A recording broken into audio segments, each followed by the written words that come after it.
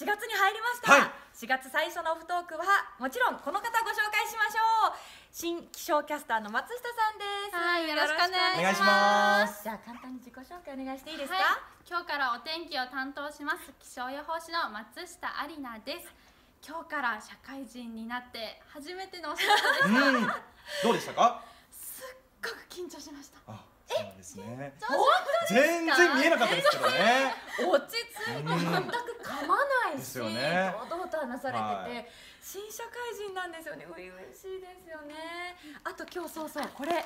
そうオープニングで。はい。そう。出してくださった自分で書いてきました。めちゃくちゃうん綺麗だし。本当に綺麗。え書道何かやってたんですか？と習字をちょっと習ってたんですが、はい。えー見せて見せて見せて、うん、ずっと見てたい。な んしなみ程度にやっていた、いやいやたしなみ程度と言っても変わってきじゃないですか？私松岡の松なんですけどこんなに綺麗に書いたこと人生で一度もない。あ本当ですか？うんはい。